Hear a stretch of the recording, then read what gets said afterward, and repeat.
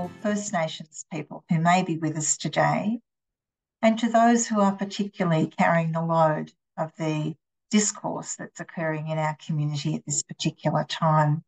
For together they hold the memories, the traditions, and the culture, and the hopes of all Aboriginal and Torres Strait Islander peoples.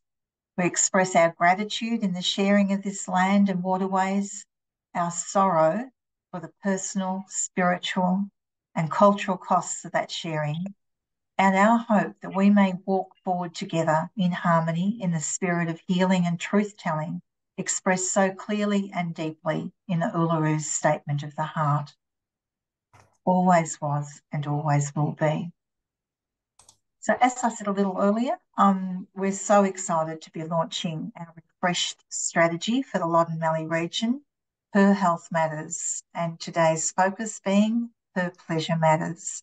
We've got a wonderful um, conversation ahead of us, and I'd like to hand across to Belinda Buck um, from Women's Health Loddon Mallee, our um, uh, got to get this right, Belinda, but um, basically our um, manager of our um, strategy partnerships um, and programs who will facilitate today's discussion. So thank you, Belinda. Thanks very much, Tricia. And yes, my name is Belinda Buck. I'm the Strategies, Programs and Partnerships Manager, bit of a mouthful, from Women's Health Loddon Mallee. And um, yeah, we're really excited to have everyone join us this morning so we can engage in some interesting and informative discussions about women's sexual reproductive health, and in particular, a key area of our sexual reproductive health strategy, living a sexually healthy life. But first, some brief housekeeping before we get started. Um, the event is being recorded, so we can provide the opportunity for others to view the launch if they were unable to make it today. Um, a warm welcome to Kelly and Ali from Auslan Services uh, they'll be providing Auslan translation today, and um, there will also be some closed captions. Um, I think it's important that we acknowledge that conversations around sexual and reproductive health can be distressing for some, and note that we do touch upon some sensitive topics, including sexual assault, as it relates to the importance of body safety. So, if you find yourself in need of support during any conversations, there are services that will be shared by the chat um, that can provide um, additional information on how to seek support. Otherwise, please feel free to chat, um, send a message in our chat, and we can follow up with you after the event. Um, so to kick off today's event, we'll commence with the insightful overview of our new Her Health Matters sexual reproductive health strategy. And then we have the privilege of viewing a presentation by our keynote speaker, Anita Brown Major, uh, followed by a rich panelist discussion around sexual and reproductive health with Anita and our other three panelists, who I'll introduce to you in a little while. Um, throughout the event, please feel free to pop any questions you may have for the panelists in the chat or Q&A window, and we'll endeavour to uh, dedicate some time to answer. However, the session is jam-packed, so if time doesn't permit, we'll follow up and, and when we send out our resources after the event. So I'd now like to introduce you to Catherine Evans, uh, Women's Health Loddon Mallee's uh, Sexual Reproductive Health Promotion Officer, who's going to now provide us with an overview of our new strategy. So thanks, Kath. Over to you. Thank you, Belinda. I'll just share my screen.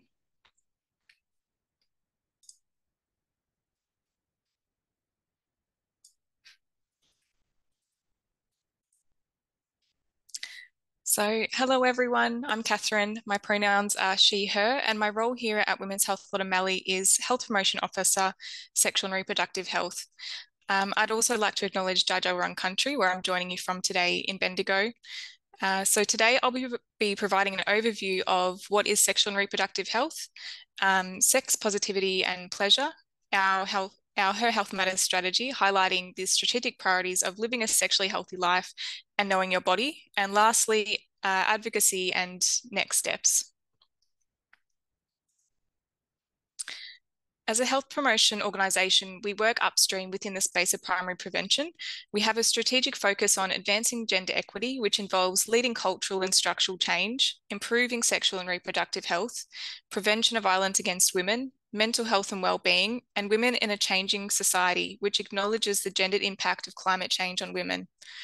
Women's Health Loddon Mallee um, recognises that women in our communities are diverse and have a variety of needs, circumstances, and aspirations that affect their lives and their health. Those who experience disadvantage when it comes to power, privilege, and access to resources have an increased risk of poorer health outcomes. We utilise an intersectional feminist framework to recognise these diverse needs by considering how people may experience multiple and intersecting forms of discrimination and disadvantage based on characteristics of identity such as gender, race, religion, socioeconomic class, sexual orientation, and disability. It provides an understanding of an individual's lived experience, including their sexual and reproductive health and well-being. Our vision at Women's Health Loddon Mallee is equity in health and wellbeing for women of the Loddon Mallee region. Our purpose is to lead cultural and structural change to improve women's lives based on a deep understanding of women's experiences and stories. So, what is sexual and reproductive health? Sexual and reproductive health is not only about the physical. Good sexual and reproductive health is important for women's general health and well-being. It includes the right to healthy and respectful relationships and access to health information and services that are inclusive, safe, and appropriate. This includes access to effective and affordable methods of contraception and timely support and services in relation to unintended pregnancy. It is also central to their ability to make choices and decisions about their lives, including when or whether to consider having children. The ability of an individual to achieve sexual and reproductive health and well-being depends on their awareness of and access to comprehensive, good quality information about sex and sexuality, knowledge about the risks they may face and their vulnerability to adverse consequences of unprotected sexual activity, ability to access sexual health care, and living in an environment that affirms and promotes sexual health. Good sexual and reproductive health also encompasses sex positivity and pleasure. Sex positivity refers to an ideology that promotes, with respect to gender and sexuality, being open minded, non judgmental, and respectful of personal sexual autonomy when there is consent. Positive sexual health is not only crucial for individuals, but also the well-being of couples, families, and entire communities. Positive sexual health encompasses pleasure, uh, sorry, pleasurable sexual experiences that are safe, consensual, and free from coercion, discrimination, or violence. It also includes access to evidence based information and safe and accessible health services that are provided free from stigma and discrimination. Consent and pleasure are key components of safer sex education.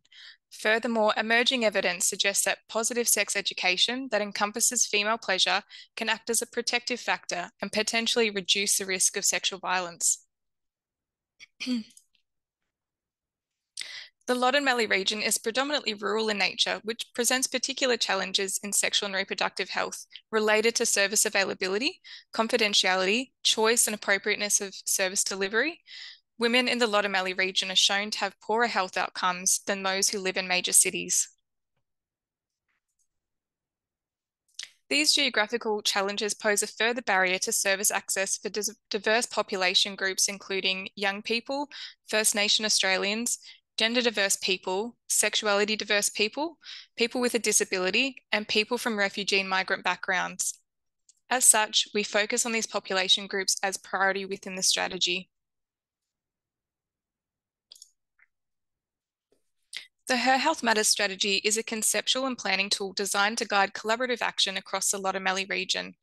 It summarises the strategic priorities, priority populations, and actions that will be implemented throughout the strategy. It aims to not only guide the work of Women's Health Loddon Mallee, but to support all partners and stakeholders across the Loddon Mallee region who are either currently or undertaking or plan to undertake future work in the space of sexual and reproductive health. Our vision is that all women across the Loddon Mallee region can access supportive, evidence based, and culturally responsive sexual and reproductive health services provided free of judgment and discrimination. Communities support and promote positive approaches to sexuality and its expression, which enables and empowers women to enjoy safe, respectful, pleasurable relationships and to have their voices heard. The Her Health Matters strategy and implementation plan prioritises a primary prevention approach as opposed to a focus on early intervention or response and recovery from early stage or pre-existing health conditions. A primary prevention approach aims to address the social determinants of sexual and reproductive health, prevent ill health, and promote health equity by addressing the disparities caused by gender inequality. There is a proposed list of actions throughout the document, as well as an outcomes framework. The outcomes framework presents a high level overview of the potential outputs and outcomes that can be monitored. The social determinants of health are included to indicate needs and highlight areas of priority. For example, health, social, or place based need and the strategic priorities are included to ensure the framework remains focused on the goals of the strategy. In addition, suggested indicators and data sources for monitoring impact have been provided. Although the terminology used throughout the strategy generally refers to women and girls, this is not intended to be exclusionary. Women's Health Loddon Mallee refers to women to include anyone who lives and identifies as a woman. In reference to women, our work in sexual and reproductive health advocacy also extends to include, include all transgender, non binary, and gender diverse people who may access women's sexual and reproductive health services. The strategy is informed by local evidence and was prepared in consultation with the local sexual and reproductive health workforce, primary prevention practitioners, and the voices of women in the Mallee region. These voices, experiences, and stories must remain central to all related activity. Women's Health Loddon Mallee engaged Health Consult to assist in the review and stakeholder engagement, which included consultation with Women's Health Loddon Mallee staff, executive management, and members of the Board of Management, service providers from across the Loddon Mallee region, and representatives from the Victorian Aboriginal Community Controlled Organisation, VACCHO. Women's Health Loddon Mallee also led stakeholder engagement with consumers in the Loddon Mallee region through three focus groups and an online survey. Our strategic priorities within the strategy are living a sexually healthy life. Individuals are empowered to have safe, respectful, and pleasurable relationships. Knowing your body, individuals understand and are supported to manage their own health, particularly conditions and transitions related to their reproductive health system. Having reproductive choices, individuals have an improved understanding of access to contraception, termination of pregnancy, fertility and birth services, Finding the right care, sexual and reproductive health information and services are provided in a manner that is non judgmental, easily understood, free from discrimination, geographically and financially accessible, and sex positive. Working together, communities and health services collaborate to ensure sexual and reproductive health information and services are appropriate, flexible, innovative, and effective. In line with today's theme, I'll be providing an overview of living a sexually healthy life and knowing your body, and detailing what we heard from service providers and stakeholders and community. Living a sexually healthy life. A sexually healthy life includes sex positivity, pleasure, respect, and access to evidence based information about sexual education and consent. An example of what we heard a positive, a body positive, sex positive integrated health approach to sexual health is required. Sexual health was described by service providers as not merely the absence of disease and infections, but consent, relationships, and pleasure as well. Using a sex positive approach will remove stigma and support women in achieving fulfilling and pleasurable sex lives. There needs to be more education around informed consent. It was reported that there are still a lot of people that don't know what consent means, and that at the core, there is a system that condones violence against women and does not respect informed consent or informed decline. Education in schools needs to improve. It was reported that you were always hearing a lack of sex education in schools. People are not promiscuous, there is just a lack of education. Service providers highlighted that there needs to be targeted, simplified education, starting from the beginning, basic anatomy, and small sessions more regularly to, to provide opportunity to take in the information rather than one big session. There also needs to be upskilling of staff to feel confident in delivering respectful relationship education. Furthermore, consumers stated that young people are receiving zero LGBTI plus education in school.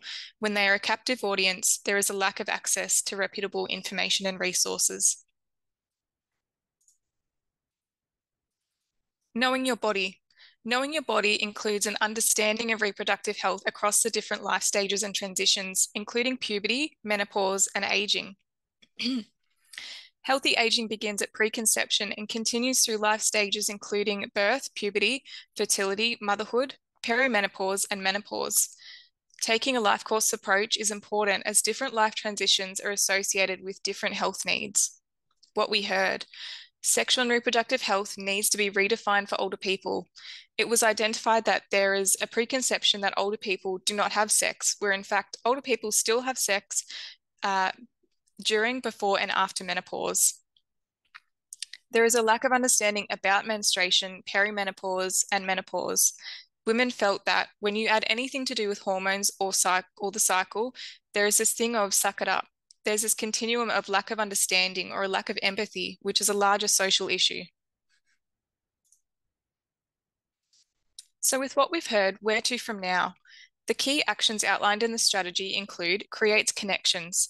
For Women's Health Lord this includes facilitating partnerships that make a difference, grows capacity and build knowledge through skills, resources, and expertise about gender equity, amplify voices, empowering all women to actively participate, be heard, and listened to. Develop solutions. This involves taking action to lead cultural and social change. Centering women's voices in health is crucial for creating a more inclusive and comprehensive approach to healthcare. Women have unique perspectives, experiences, and specific health needs that must be acknowledged and addressed. As a Victorian government, funded, not for profit, but for purpose organisation, Women's Health Lord are positioned well to advocate for what the women across community are telling us. Advocacy for sexual and reproductive health, including reproductive rights, involves a collection of strategies that can be used to achieve social, economic, political, cultural, legal, and civil change in the sexual and reproductive health sphere. Advocacy is important because Issues related to sexual and reproductive health are often stigmatized by society and deprioritized by governments. Sexual and reproductive health strategies need political support, and advocacy is often required to motivate governments towards change. Following on from our launch event today, we will be reaching out to interested partners and stakeholders to continue conversations around sexual and reproductive health and how the strategy may be able to support the work that is happening across the region. So please feel free to reach out to us and keep the conversation going. Lastly, please feel free to share the Her Health Matters strategy far and wide. It's available on our website and a link has been provided in the chat. Thank you.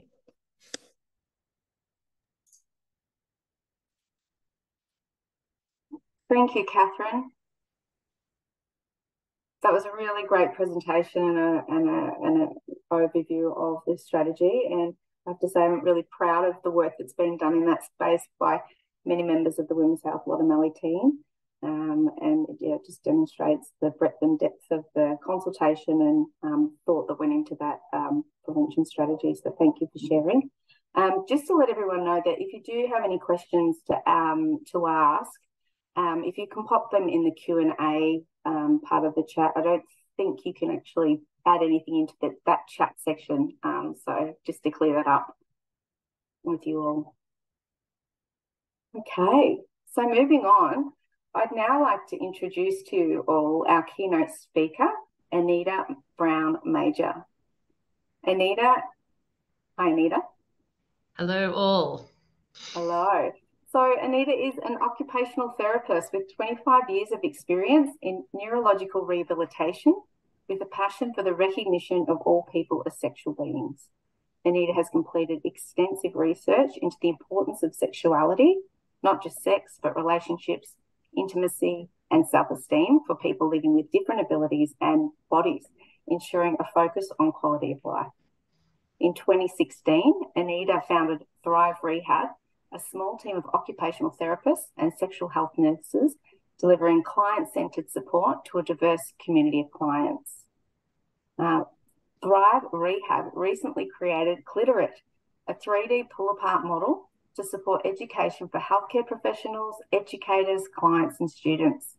Cliterate accurately shows the interaction of the vulva, clitoris, and pelvis and helps people of all abilities to understand AFAB, Assigned Female at Birth Anatomy. And this product will be available or was available in July 2023, so recently available. Um, Anita is a member of the International Clitorati, the Australian uh, Sexology Association, and the Australian Occupational Therapy Association. Thank you for joining us, Anita. We're thrilled to have you um, as our keynote speaker, and I'm going to pass it over to you for your presentation. Oh, thank you so much, Belinda. It's an absolute pleasure to be here. So um, I very much appreciate being invited and sharing knowledge about sexual pleasure. It's such a, a joyous topic to be able to talk about. I'm just going to share my screen uh, and make sure that's working so everyone can see that. Great, excellent. So, living a sexual, I really get delighted to be asked to be talking about pleasure. Often, I, I get um, we we get um, brought in often as OTs or sexual health um, people about when there's problems arrive. So, I'm I'm really excited to be able to be talking about pleasure. Today, we are talking about sexuality, and, and sex and sexuality does have lots of different connotations for lots of different people. So, I always put this slide up, and um, these slides will be available afterwards as well, as different organisations that you can contact yourself. Um, and certainly, I even suggest, even as professionals, if there's professionals here and um, someone is disclosing something that you're not quite sure what to do with, you can actually ring these organisations yourselves um, to go, this has just happened, what should I do? So you don't actually need to know all the questions or all the answers actually when you're talking about sexuality as a, as a profession. But th these are all great organisations that I'm, I'm sure most of you are aware of. I wanted to position myself. So I'm sitting on Wurundjeri land of uh, Kulin Nation, so based in Brunswick, Melbourne. Um, I did grow up in rural Victoria. So I grew up in a small country town called Congupna, um, just north of Shepparton and south of uh, uh, uh Um, and so I'm really quite passionate about rural health um, and have spent most of my career um, trying to work alongside rural folk um, and rural occupational therapists to be able to do this work. So, not wanting to come in as the expert, but just actually telehealth has provided great mentoring and opportunities of working alongside other occupational therapists and other healthcare professionals, social workers, psychologists, so that we can provide support. So um, we're pretty excited to be, um, you know, and do a lot of work in rural Victoria. Uh, this is the uh, the other side of my business is Thrive Rehab. So we're a group of occupational therapists and sexual health nurses that mainly work in the NDIS space. Um, and we do a lot of work in the LGBTIQA plus um, community um, work with a lot of uh, fabulous transgender humans um, and have got a really great team of, of therapists that are committed to doing this work and, and doing some education as such. So um, you can feel free to have a look at that. But a lot of our work is, again, working alongside. It's a terrible business model of mine because it's actually not working individually with clients, but it's actually working alongside other therapists to be able to feel like they can have conversations about sex and sexuality. Um, I really liked Catherine's presentation. It, it, dovetails so nicely. It's almost like we'd planned this. Um, uh, Catherine um, was really talking about sexual and sexual health and pleasure. We know through the World Health Organization that that sexuality is more than just reproduction, um, and it influences the way we feel. It's influence. It's expressed in you know how we look, what makeup we wear or not wear. Um, you know, it, it's so much more. But we also know that it, that all of our concepts of sexuality is built, each one of us, it's built from the background that we have sat in and the processes that we've worked in. So it's influenced by our psychology, it's influenced by our biology, the historical context and where we sit, the, um, the ethical, the legal, the economic, cultural, all these different things impact our definition of sexuality personally and also how it influences our values. Um, and our values are really um, important to look at and to think about and to, to question um, while, when we're working in this area as well. Now, I always love this. We always talk about in health, whose role is it to talk about sex? And pretty much when I, you can, there's heaps of educations around this and heaps of articles of whose role, whose role, people talk to the doctors, the nurses, the OTs, you know, is it the specialist as such? And pretty much I would say it's actually everyone's role. It's and usually in a, a multidisciplinary healthcare network, it is who is that person feel most comfortable about. So when I we do training, of healthcare professionals, we basically try and train everyone. I've even worked with dietitians in this area, and they're like, "Why do I need to attend training, Anita?" And um, I make, made everyone attend in when we were working in hospitals. And the dietitian came and talked to me a couple of weeks later and said, "Oh my God, Anita, um, I would never have picked up on on a cue. Someone was asking me before they went on weekend leave. Oh, I'm a bit worried about having enough energy for going home." And um, this dietitian said I would never have picked up that they meant enough energy around being sexually active with my partner at home. Um, so again, just allowing all professionals uh, basic understandings of sexual health and and questions allow questions to be asked. We know that um, most clients don't ask about sex. We also know that most health professionals don't ask about sex. So we've got this definition of both. So if you think about your own health journey, which we are going to be talking about, you know, when was the last time a doctor asked you about your sexual health? Um, when was the last time the physio did? When was the last time that you talked about that um, in all of our different ranges of, um, of life stages? So, really thinking about who asks and who responds. Um, my parents are in their late 70s. All of their friends are now going to every different medical professional talking about sex and then reporting back to me. So I feel like I've got this whole plethora of people who literally, you know, grew up and were sexually active in the 60s, which are, you know, a lot more sexually liberated probably than my, um, you know, than my kids. So it's that real concept of, of not making assumptions. The joy that I get to talk to and, and think about today is to do the sex ed that maybe you never got around pleasure um, in schools. So we're going to go back to sex ed 101 and we're going to start with anatomy, physiology, information that unfortunately we don't get taught in schools. We also don't get taught in health professional universities. So that's a little bit my bent is how do we get this information? I will ask, if possible, to see if you can find a pen and a pencil if you've got one on your table, because I will be getting you to do an activity um, as such. But we are going to do Sex Ed 101. So again, because we're in a webinar, I can't get you to respond, but I want you to think about or write down what are the two largest sex organs in your body? Which is an interesting one to have a think about. So, the two largest sex organs in your body. In the interest of time, I'm going to give you the answers. First one yep, is your brain. So I know that sounds it's interesting, but your brain is where your orgasms happen. Your brain is where desire happens. Your brain is so important to the sexual response system. Um, it's essential as such. So, someone I work with lots of people with spinal cord injuries um, that might be a quadriplegic. You know, they can still be sexually active beings. So, your brain is your most important, one of your most important sex um, organs. Your second one is your skin. So, again, we're not talking about genitals Talia here. We will get to that. But your two most important things is your brain and your skin. So the feeling of touch. So if you think about disability or disease, which again I overlay with everything, anything that affects the brain or the skin has the potential to impact on sexual pleasure and sexual functioning. So really having a think about that. So this is where your pen and pencils are. So while I talk at you, I would like you to do a little bit of, I was going to say doodling, but it doesn't really sound right to say doodling in this context, but basically do some drawings. And I would like you to draw a picture of the clitoris. It's okay if you don't know what that looks like. Just give it a go.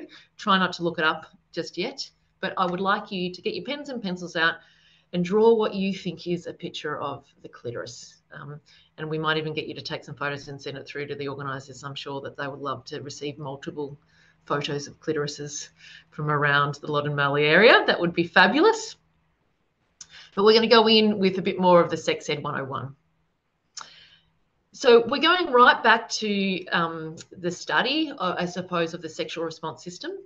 Um, in the 1960s, there was a couple in the US um, uh, called Masters and Johnson. There is a Netflix series about it. So, um, and there's also a couple of really great Netflix series of sexual pleasure but basically, what I'm wanting to talk about the Masters and Johnson's work is, um, and it's very binary. So I'd like to very much acknowledge this work was done in the 1960s. So it's talking about um, people with penises as males and people with clitorises as females. It doesn't show the gender, uh, gender um, diversity in this at all. So it's basic on that. I also like to acknowledge that the Masters and Johnsons, although they did fabulous work in this area, also tried to do gay conversion and fix people. So there's a lot of questionable stuff around Masters and Johnsons, but it's a useful. Um, they still were the probably the first medical professionals to really map and study sexual the sexual response system. So I'm now talking about um, the process of um, having sex, masturbating um, as such. What they did is they got people to come into the hospital um, behind closed doors that they could see through, and they hooked them up to lots of different electrodes on their body, and they measured body responses. They measured heart rate, innervations, you know, what what was going on within a body during a sexual response and they got people to either masturbate um, or have sex, partnered sex. They allowed people to have partnered sex with someone they didn't know. So let's just put that into context as well. If you were asked to either go in, masturbate in front of someone, or have partnered sex with someone you don't know, and their results basically were saying um, for people with penises, they had this excitement period. So that is a period where um, their muscle tension increased. So again, if I've had a stroke, my mus- my, my tone or my cerebral palsy might increase. Um, your heart rate increases. Um, blood flow is increased to be able to increase the um, the erections of the clitoris or, or the penis, um, and you got to a point of plateau. Plateau is a period where it's all really heightened um, just before orgasm. And for most people with penises, they orgasmed and then they had a, ref- a, resolution period or what they call a refractory period, which is the time after orgasm that they cannot get another erection. So that's such.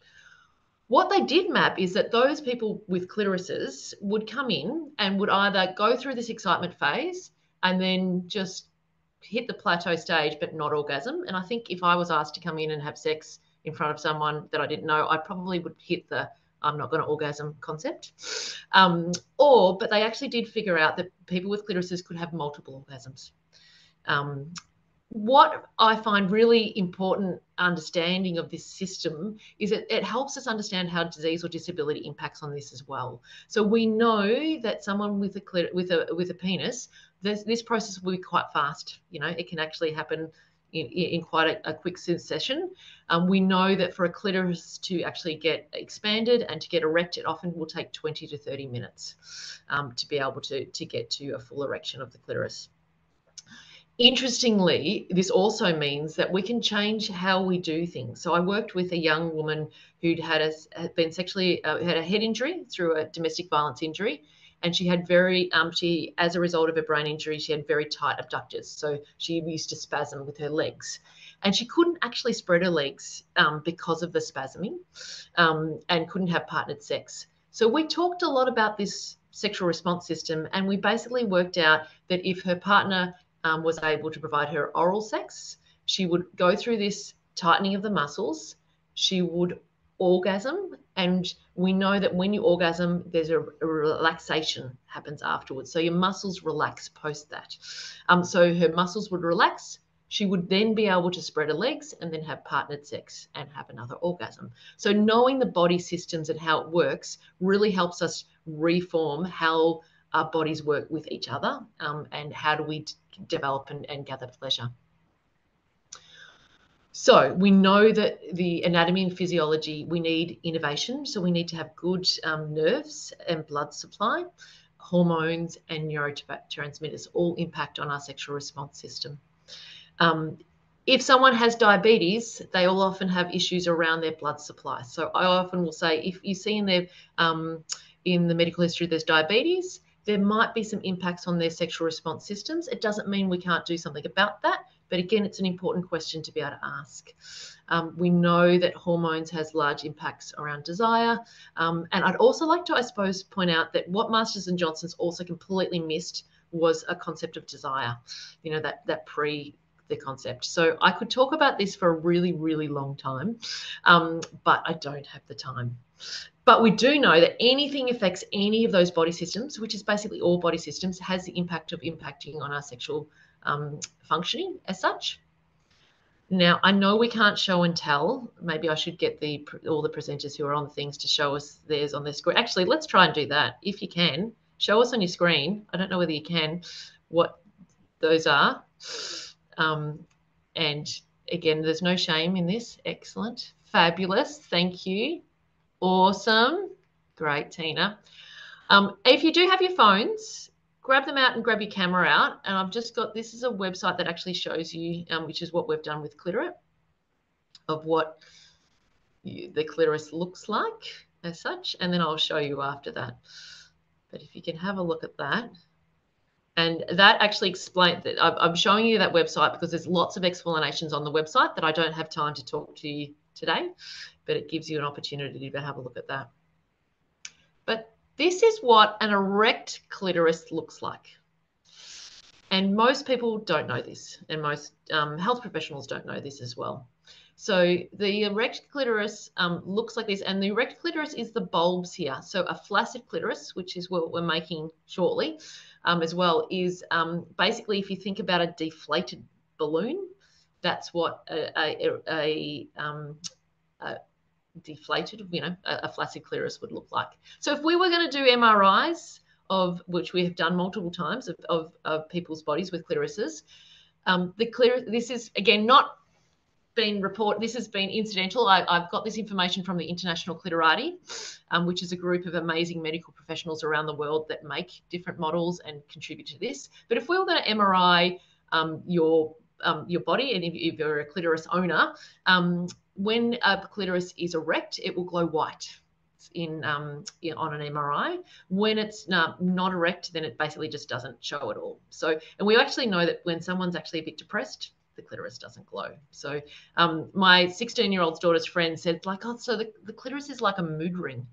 I was like, yeah, actually, it's probably a really good point. So I love love teenagers for coming up with concepts, but if you consider the clitoris a little bit like a mood ring, um, we've so again, knowledge of how bodies are put together, where the urethra is, where the vagina is, that it's not open all the time, that it needs to be warmed up, and people orgasm. So although I'm saying the sexual response system is the brain and the skin, um, people orgasm in in um, different positions because of their position of the clitoris.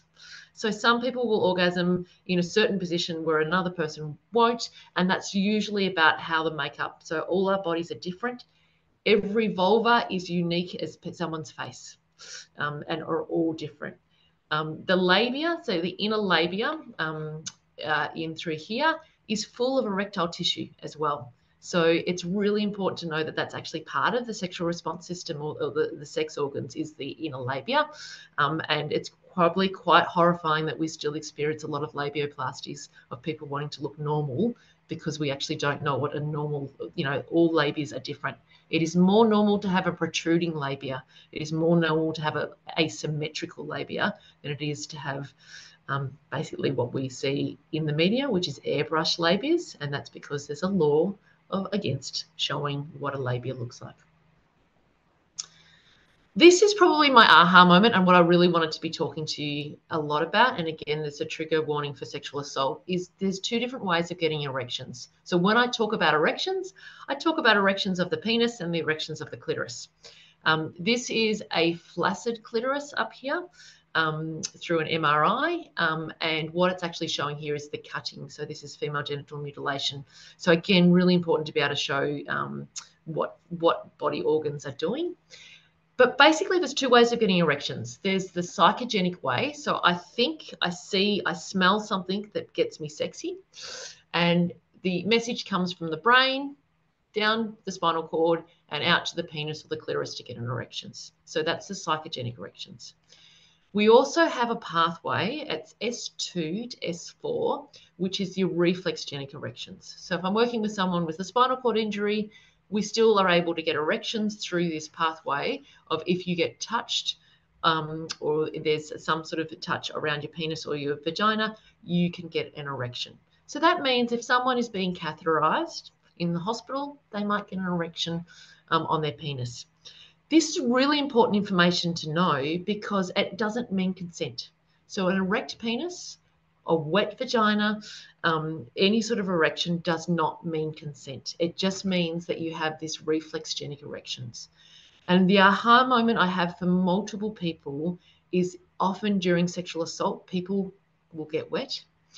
Um, they can have orgasms during a sexual assault, and it can really just screw with people's brains. So, as all health professionals and for all people, we need to know these body systems so that we can debunk that and actually work on regaining pleasure after sometimes sexual assaults. Um, I worked with a, a, a, young person who had a sexual um, a spinal cord injury, and they just went, "Oh well, I'm I'm I'm you know been in jail for a year," and they said, "Oh well, I'm homosexual now because I was raped multiple times and I got erections and I had orgasms, so I must have liked it." So again, trying to understand what is that body systems doing in the background really makes a, a massive difference in terms of getting people to explore their body and understand pleasure. So, two ways to get erections thinking about the psychogenic erections and a reflex erections, which means um, non concordant erections. So, we, we call that non concordance. That when you get wet, um, it does not mean that you're sexually excited. So, the only way to know that you're really into this from a partner perspective is actually by communication. Are you liking this? yes. Um, and we have the recent affirmative consent laws. You, it's actually talking out loud about that. Or if those people who are unable to communicate, working out a system beforehand on how that works. Orgasms, talking about all the fun stuff. So we know these are all the facts. So um, the, there's a male female again binary debate of you know is do orgasms uh, do people experience orgasms differently in different bodies um, they basically got 300 people in a, in a study and they got everyone to write down their experience of an orgasm. And they gave it to a panel of experts and said, go figure out, put them into two binary areas. And they couldn't do it because actually those experiences when you write down the experiences of orgasms are very similar so really um, looking at that we know that orgasms are perception of the sensation is context dependent. So if you're sitting next to a new date and it's pretty fun and you're you know feeling a bit sexy um, and they touch you on the on the shoulder that's going to be a very different experience of if you're sitting next to you know a, a, sibling who gives you a bit of a you know hit on the shoulder so that really context of where you are and what that concept is really changes the headspace as I said before, we know that multiple orgasms for people with clitorises are possible. We also know involuntary orgasms are possible. Um, or we know that men can organize um, orgasm through prostate stimulation alone. So erectile dysfunction, um, you can still orgasm through um, prostate stimulation. We know that women are more likely to orgasm alone with a female partner or during oral sex. The stats are around about only 30% of people with clitorises will orgasm with penis vagina sex. Really important stat to know. Um, and we also know that orgasms can be redirected um, and can be occurred through different stimulations or erogenous zones. So a lot of the work that we do with people who have spinal cord injuries, we will actually work on trying to redirect their orgasms. So people have orgasm behind their ear or often even at the level of the spinal cord injuries. Um, so erogenous zones can change. So bodies change and understanding of where your bodies are, are sitting is really important. What I would really like to do, and I think this um, follows on very well from Catherine's conversation, is really the recognition of all people as sexual beings. Um, and how they choose to enact that is up to them. So people can still choose to be asexual, or you know, that's not even choice. You know, that's who they are. Um, but how they choose to enact that, but recognizing and not making assumptions that just um, and not just having conversations about sex with people who are young or in partnered we know that I actually am really passionate about recognition of all people as sexual beings and that even children have the potential to become sexual beings and that consent and education is really important. Often kids with disabilities are forgotten or seen as asexual and not given this information. And unfortunately, that puts them at more risk of sexual assault.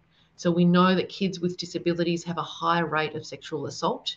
We know the stats are pretty horrifying for women with intellectual disabilities. There's a 75% um, rate of sexual assault. So it's a really high concept. We know that education and adapting education to their needs is really important. So um, we work a lot with special schools on actually providing education to folk about how do you get people with an AC device um, to be able to get this information um, and to, to also talk about it. We also talk a lot about body autonomy. So kids with disabilities or people with the disabilities, children with disabilities, are touched a lot. So it's very hard to recognise what is safe touch and what is, you know, you know, not safe touch if you actually are being picked up and moved and put on the toilet and lifted all the time. So really teaching um, uh, folk and carers how to actually teach body autonomy with, with that. We know that again, also on the other end of the spectrum, the aging that, you know, I've worked with lots of women who are in their 80s that have repartnered and um, we had one of my uh, colleagues worked with a lady who had had a hysterectomy 20 years before, and her partner died. She hooked up with another with a friend, um, and she went to the doctor and said, "Oh, um, is it still open?" You know, again, not knowing the concept. So she was sent off to a friend who was a sexologist, um, and did basically most of our work is just education. This is your body. This is how it works.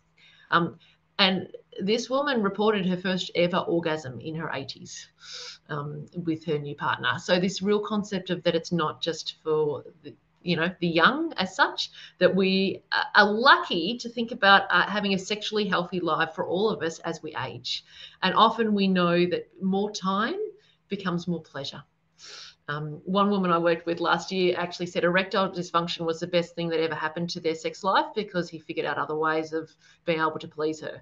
Um, so that real concept of education and and touch and communication is so important. Um, I worked with one woman who'd had a brain tumor, who um, we again hadn't had a brain tumor and been in and out of hospital, and I asked about sexuality and sex life with her and she just looked at me and just went, oh, What? No one has ever talked to me in my five year cancer journey about sex. And we had this really great discussion about how she'd had a really healthy sex life. She got married young. They had a great sexual script, but they never talked about sex. The last time I talked about sex was when I was a teenager. Um, and her partner, you know, was really worried about her being ill didn't want to touch, didn't want her, her to assume that she was having sex, so just didn't touch her. So there was this disconnection of I, I don't want to crush you, I don't want to have expectations, I'm going to step away, and then they further and further away. And she, um, we basically, as a therapy concept, is just talk to her. How do you talk about sex? How do you talk about sex with your partner? Here's some information about cancer and sexuality. And a lot of that is about bringing back connection, bringing back conversations. And she came back and told me, um, or wrote me an email a couple of weeks later that said that her and her partner had gone out on a date and they talked about sex and they'd worked out ways of basically keeping the pilot light on, um, how to hold um, hold hands. So often one of our biggest conversations is we ban penis vagina sex, but we encourage all the other bits about connection to be able to increase desire um, and and have some some healthy conversations. So again, it's about as yourselves as a sexual being is talking about this, talking about it with your healthcare professionals. If you don't know, find out. We do Google doctor things. When uh, my recommendation when you Google, put PDF into your search criteria because you'll find out information that is accurate rather than if I if I Google sexuality and stroke, um, you get some really weird shit that comes up through your search criteria. Um, apologies for swearing. Uh, but if you Google sexuality stroke PDF, you'll actually get some, um, you know, reference material. So there's some great information out there. I'm also quite um, passionate about all aspects of the of the sexual um, life as such. People with who are, have dementia are still sexual beings they're not often we go saying oh they're acting like a three or four year old so really that that sense of pleasure is often one of the last biological processes to uh, to go really and deteriorate. Um, and I worked certainly with my aunt who had early onset dementia um, and sexuality was a really big part of her life um, and it, you know no healthcare professionals wanted to talk about it. So I just wanted to acknowledge, um, finishing up here, is that you know sexuality is intimate to our quality of life and to be acknowledged as a sexual being, actually, you get seen as a human. Um, so I think it's really important um, in in our conversations is to acknowledge ourselves as sexual beings, and how you choose to express that is up to you. Um, and but educating yourself around that is really really important, um, and seeing that. And we know that the worst enemy of sexual health is silence, and that goes across all the the walks that we do. And that is me. Thank you very much. Wow. Thanks so much, Anita. What a wonderful presentation. Um, I've made notes all along the way, so many learning opportunities um, for myself and I'm sure for many others in the room. Um, yeah, really informative and interesting. Um, I have to say that I did fail on the two most important organs. Um, yeah, so it's certainly you know, opened up my my mind a lot more about um, understanding what sexual pleasure really means to to different people. So, thank you so much. Um, just wanted to check in as well to see whether there was any questions that had come up in the chat to our moderators. Did anything come up at all? Nothing's come up yet, but if anybody would like to add any questions in the Q&A section for Anita, um, please feel free and we'll get into those if we when we can. Right. Um, okay, well, we're going to move on um, to our panel discussion, and uh, it's really great that our keynote speaker, Anita, will be joining us for that panel discussion. Um, and I'd like to introduce um, others who will also be joining us. So we have Dr. Karishma Kaur. Hello. Dr. Karishma Kaur is a general practitioner at Bendigo Community Health Services within the Sexual and Reproductive Health Hub and Bendigo Primary Care Centre. Uh, she is a graduate from India and moved to Australia to pursue higher qualifications. Karishma has worked in Hervey Bay Hospital as a medical registrar and then moved to Victoria to be closer to family. And since then, she's worked in various departments in Bendigo Health and also did a year as a rehabilitation registrar. Due to her immense interest in primary care, Karishma trained in various practices in Bendigo and attained fellowship at the Royal Australian College of General Practitioners. And Karishma has a great connection with community and participates actively in local events. Uh, she's developed advanced skills in sexual and reproductive health and is trained to provide early pregnancy care, including unplanned pregnancies and early miscarriage management. Welcome. We also have Gabrielle Mentz. Gabriella is a health promotion officer with a background in adult education. She's passionate about sex education for adults to address the fear surrounding sexuality and gender in Australia. Uh, in 2021, Gabrielle completed a graduate certificate in sex, health and society, which was designed by the Australian Research Centre in Sex, Health and Society at La Trobe University. She has a certificate for in training and assessment and completed her first nationally accredited course in gender equity in Australia. And in 2022, we were very lucky because Gabrielle joined Women's Health Mallee as a health promoter in gender equality. Welcome, Gabrielle. Yeah. And last but not least, we have Rhiannon Jennings. Um, Rhiannon, otherwise known as Ree, um, is the Rural Development Coordinator at YACVIC, uh, the Youth Affairs Council Victoria. Um, really is passionate about empowering the next generation and hailing from a rural background, she's developed a deep understanding of the unique challenges faced by young people in rural areas. She's committed to fostering growth, advocating for young people's rights, and improving access to crucial services and opportunities. Sexual reproductive health and wellbeing has fast become a priority for YACVIC's Rural Presence project in the Mallee. Uh, through their strong partnerships, such as with Women's Health Loddon um, and the Centre for Excellence in Rural Sexual Health, CERSH, Um, YACVIC are involved in both leading and supporting a variety of sexual health focused initiatives across the Loddon Mallee region, including the co facilitated um, Sexual Health Out and About Shout network uh, with CERSH. And YACVIC continues to bridge the gap by advocating for outreach programs, vital resources, and bringing localised support for rural young people. So, welcome everybody. What a great, amazing panel. I'm really excited for this part. So I'm keen to jump right into our discussion and I'm looking forward to hearing from you all um, about why her health matters and her pleasure matters. Um, so to get us into the space, um, everybody in the room, including those that we can't see, I think we just take a moment to reflect on our experiences with sex education and when we were growing up.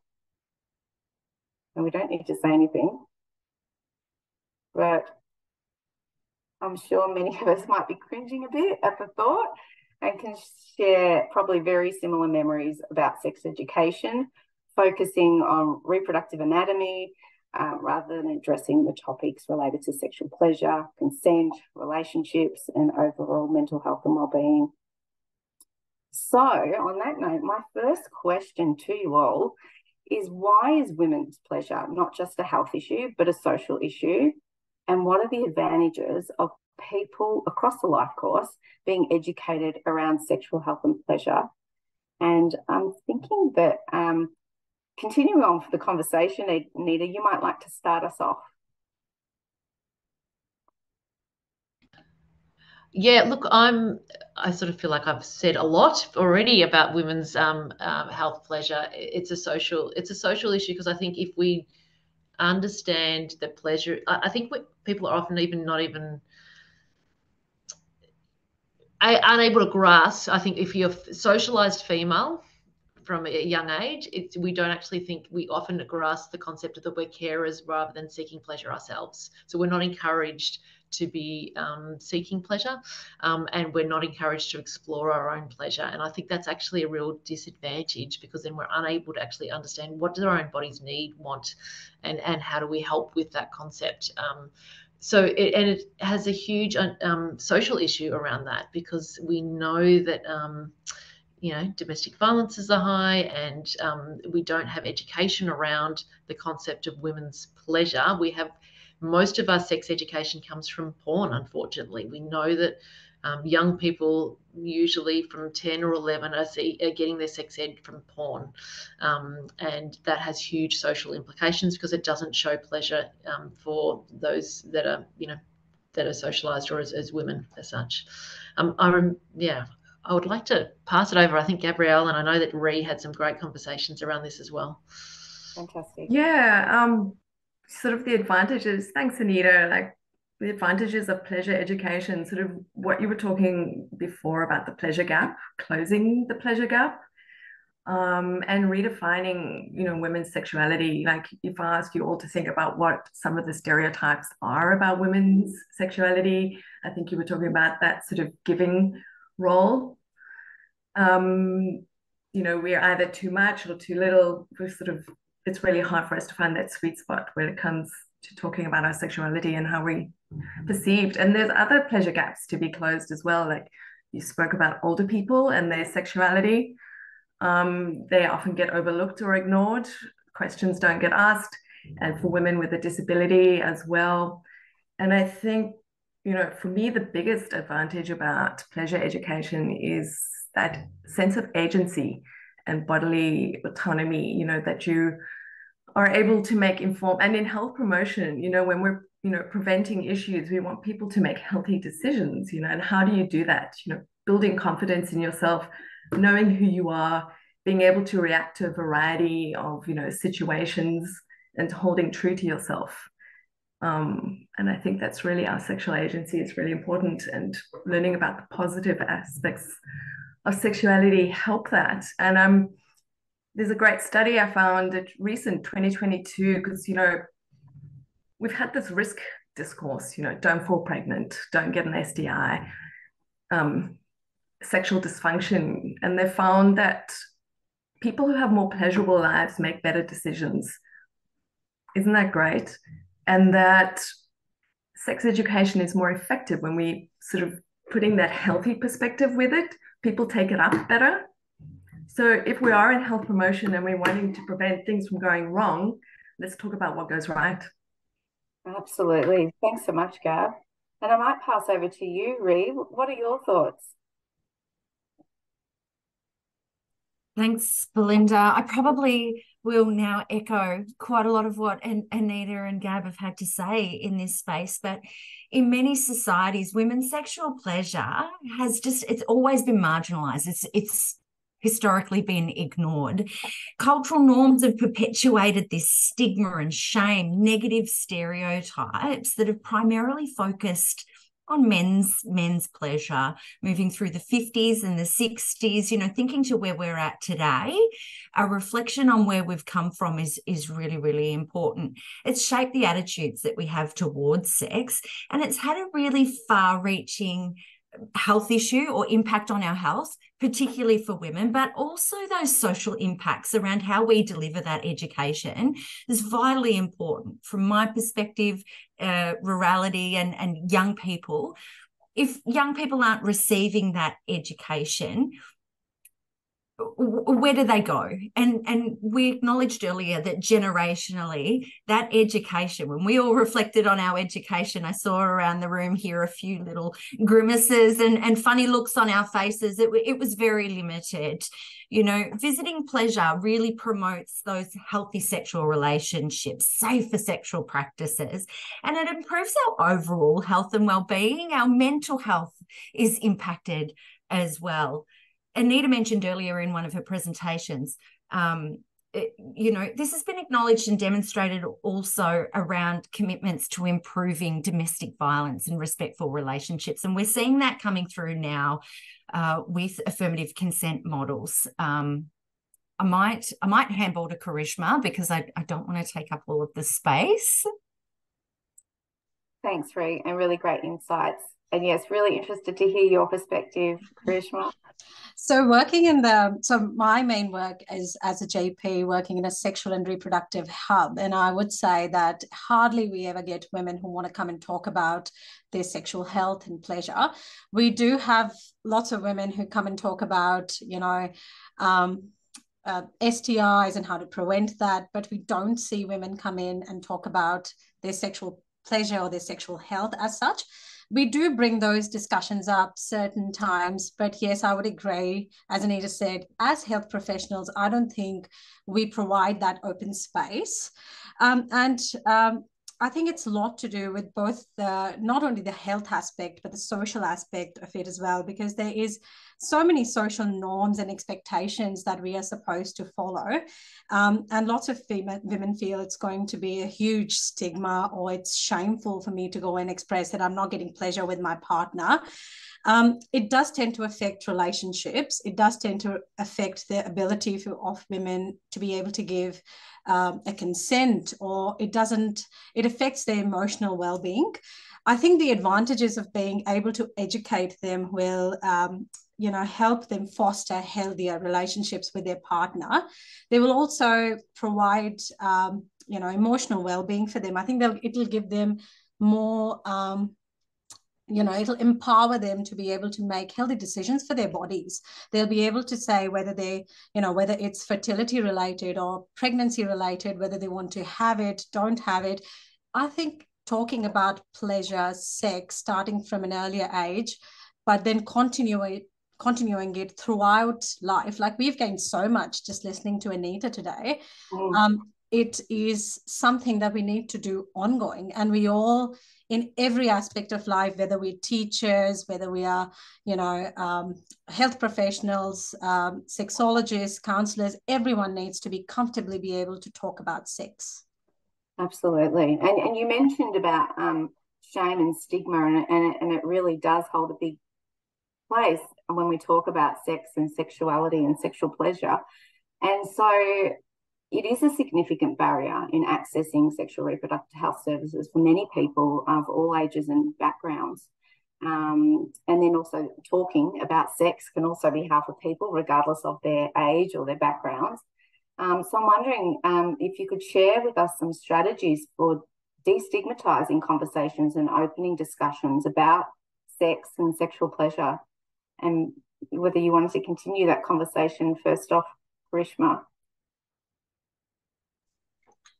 Yeah, so so as I said, I think it's really important uh, to to change the society attitudes towards sex and pleasure. I think the most important thing that Anita has highlighted today is to be able to provide that comprehensive sexual education to um, you know, different um, age groups, different societies, different backgrounds. Um, there is talk about providing sex education. I think there's a huge gap in that sex education, which happens at schools. But I think we don't need to only focus about safe sex and we don't need to focus about STIs. I do see a lot of youngsters who are happy and feel very comfortable coming in and getting an STI check, but there should be more education about pleasure the you know whatever Anita's highlighted today in terms of the um, you know pleasure that women get and how they can get or you know that all needs to be started at a very early age. Um, i think the other things important are that we need to normalize conversations. Everyone should be able to normally come and talk to their health professional to their whether they're seeing a counselor whether they're seeing a gp the health professionals need to be educated. So we when we get training, when I'm trained through the Royal College of Physician, uh, General Practitioners, I have limited training in terms of how to do, how to take sexual health history. And then we're talking about another complex, um, you know, type of thing here where we want to go and confidently ask women, give and other people to, and give them that safe space, come and talk to us about your needs. That if, if you're able to do that, um, it will also help us develop, um, you know, certain um, materials that we can give to young people and to people of any age um, so that they can continue to learn about sex and their bodies. I think one thing that I uh, really liked about what was highlighted uh, probably for a little bit was the media. I think the media plays a big role in not positive, in not creating a positive attitude about sex. I think if health professionals or professionals like Anita are able to talk about it openly and media promotes things like that, it will normalize situations and it will actually bring about a lot of sex education. Yeah, absolutely. Uh, you spoke quite a bit about young people, so I'm wondering, Ree, whether you'd like to add to this discussion, and then I'm really interested to hear, Anita, what your thoughts are in this space as well. Thank you. It, it's it's such an interesting space, particularly for young people. And, and we've been, we've had the privilege of engaging in consultation with young people across the Mallee in uh, really quite rural or remote spaces, you know, to be able to engage with them uh, around their education. And quite often it's it's significantly limited. What I would say, what Karishma certainly has in an abundance is a confidence, a confidence to have a conversation, a necessary conversation. And the conversations that we've had with young people have predominantly lacked in pleasure. What we hear from our young people, particularly when we're talking around a continuum of consent, it starts at non consensual and ends in consensual. And in no place, no way, shape, or form is pleasure actually discussed a healthy relationship is based on engaging in pleasurable activities. And again, there's so many stereotypes that have impacted young people in particular, but also acknowledging the diversity of the region that we live in. We are extraordinary in what we have to offer across the, the broader Loddon Mallee region. And the culture, the religion, the lived experience of um, our communities is really quite extensive. So, being able to acknowledge what our communities and that diversity looks like is really, really important. For me, I have the privilege of working with young people, but we also need to make those considerations as well around the diversity of the community and how that impacts young people, how we engage in a really confidently and, and positive way. And it's okay for us as a youth worker. I'm not a sexual health professional, but I'm certainly very passionate about bringing that information and opportunity to young people. It's okay to acknowledge we don't always get it right and we don't always know all of the answers. But if we can build a confidence in our young people and establish where they can go to find the answers that they're looking for, reliable resources, and, and what some of the barriers are in accessing those resources, particularly where rurality is concerned, so many things that those complexities of rural living have an impact upon young people, the broader community more widely. A- access to products and services is really significantly impacted. And that seems to be a bit gendered as well. The impact is more significant for young women. We're fortunate in 2019 when we had these conversations maybe unfortunate that not a lot has changed in that time, but looking at contraceptive options for healthy sexual relationships, what's available on the market.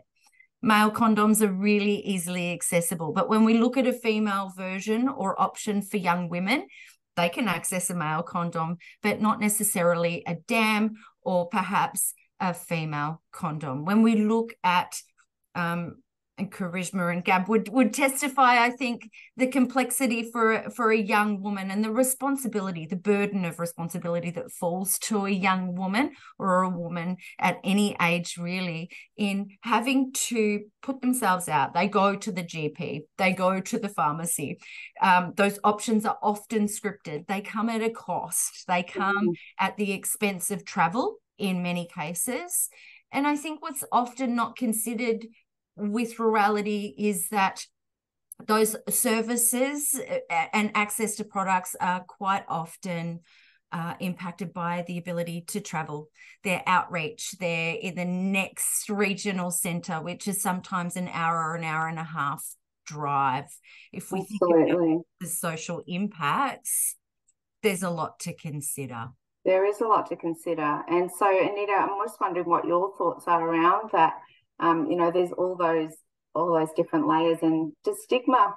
This is just a little bit off topic, but does stigma look differently for men and for women? I'd be really interested to hear your thoughts on that.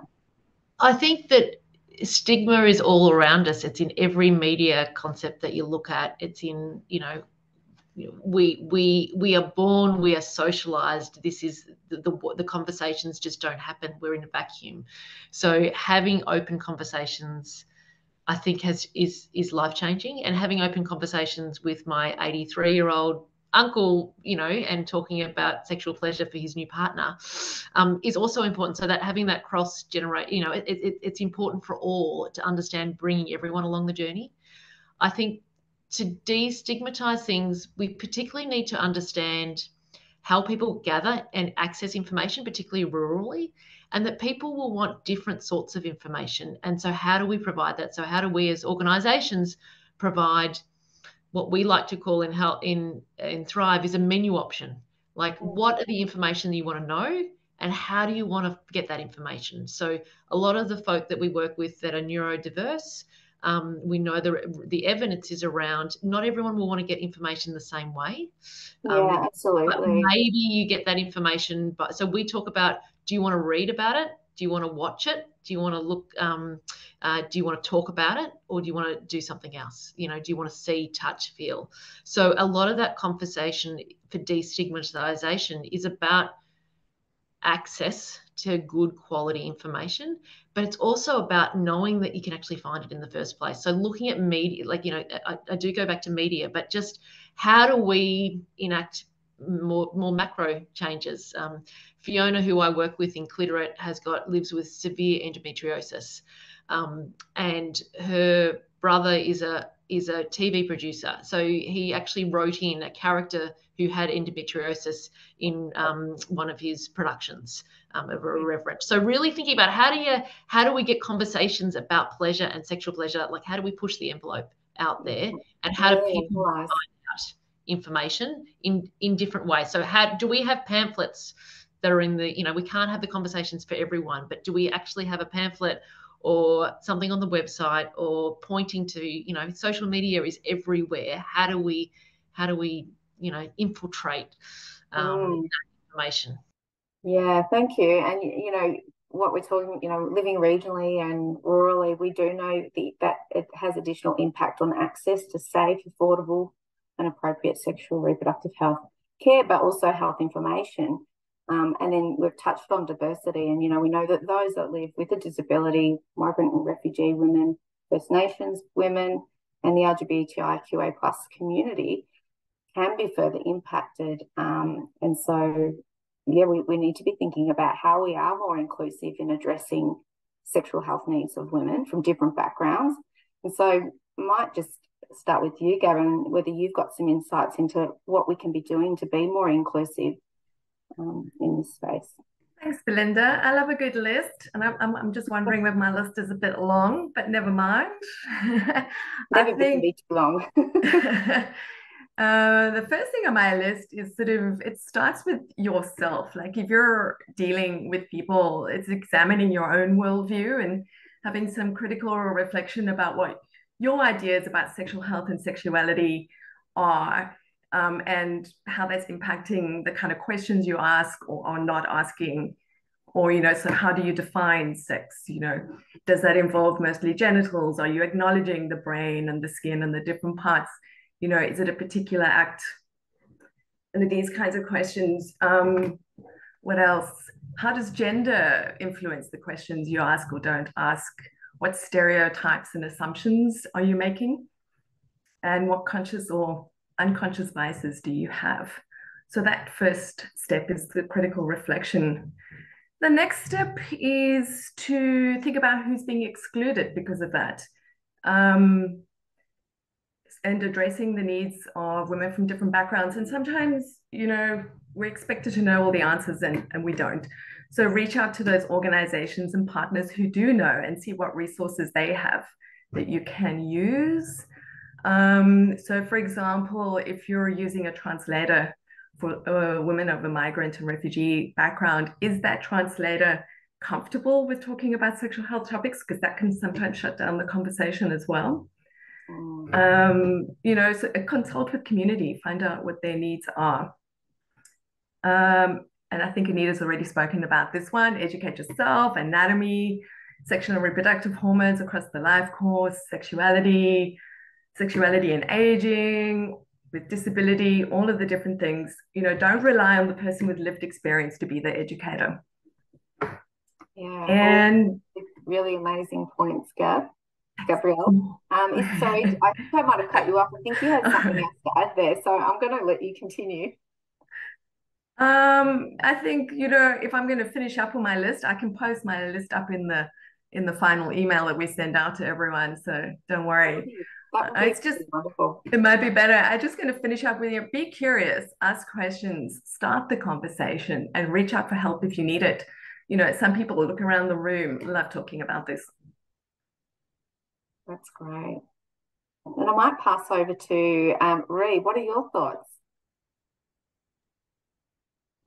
inclusion is is so very important and again that acknowledgement of the diversity understand that there are a variety of cultural and societal norms norms religious norms expectations and just do your best to be aware. Acknowledge that we're not we're not experts in everything but also in rural communities we have a there's a strength of community that that exists and there is an opportunity to develop confidence. If you don't have that confidence yourself there are so many amazing services of support like women's health Loddon like center for excellence in rural sexual health that can bring those experiences and expertise. If we're thinking about a confidence particularly for young people in education and and I guess it really it, it's for every age in that education. Uh, look at bringing somebody in. Um, for young people inclusion can be challenging based on well my teacher uh, is my my dad's footy coach or you know there there is less than 6 degrees of separation. There are challenges for young people to be included when they feel as though there's a lack of confidence or or a lack of um, confidentiality. There are there are many layers that need to be considered when we're trying to include everyone. Do your best and yeah, reach right. out to reach out to your friends. I love that. Do your best. That's that's the best we can do. It's making the effort and making the attempt, yeah, and not feeling scared to, to do that. Yeah. Um, Karishma, would you like to go next? Well, I think a lot has been covered, but just to add there, I think the most important thing is not to make assumptions, is what I would say. Uh, it's very easy to assume that, you know, this person comes from so and so background, so they don't want to talk about sex because it's not something that they do when they grow up.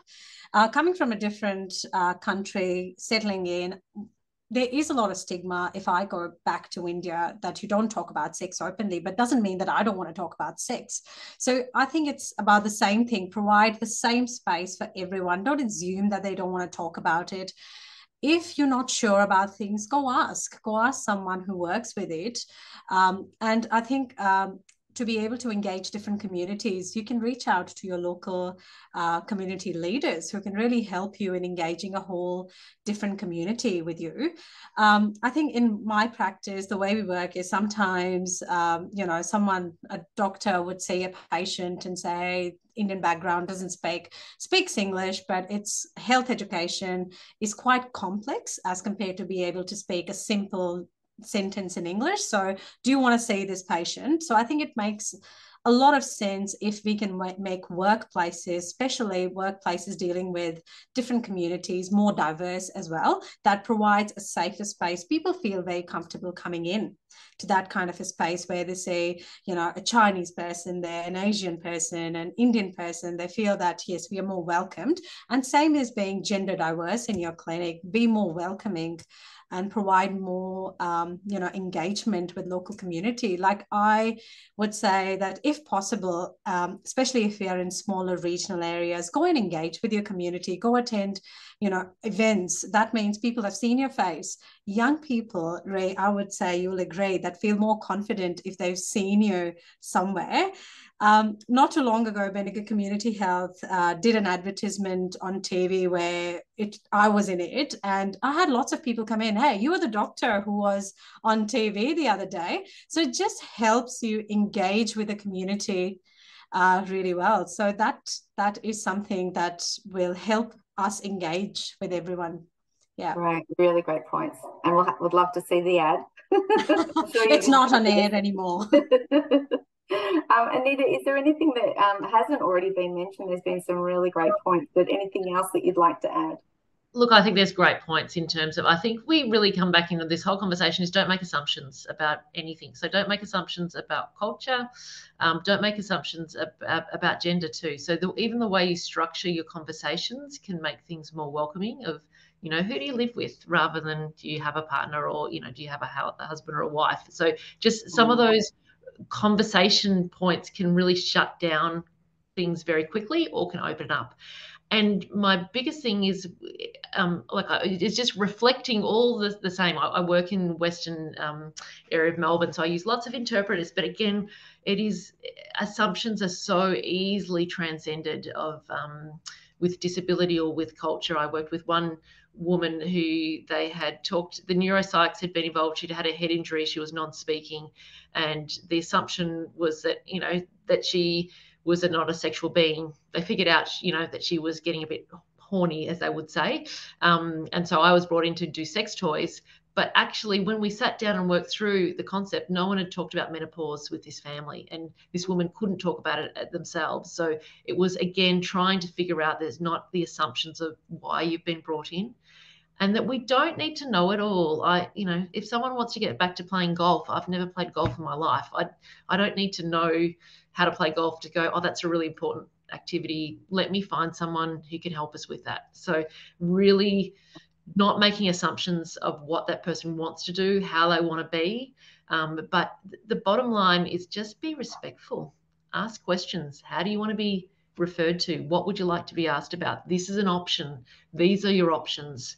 Um, what would you like? Is is the biggest concepts.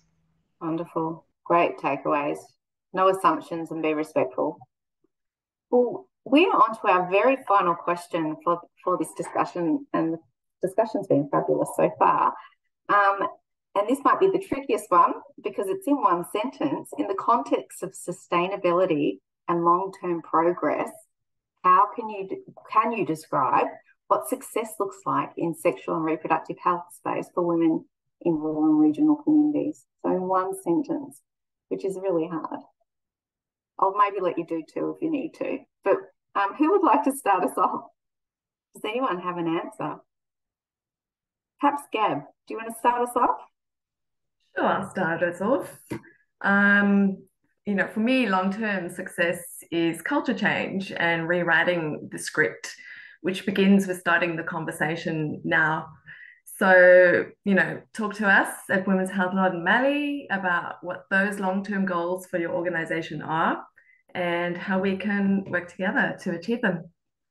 Great. Thanks, Gab. Brielle. and Anita.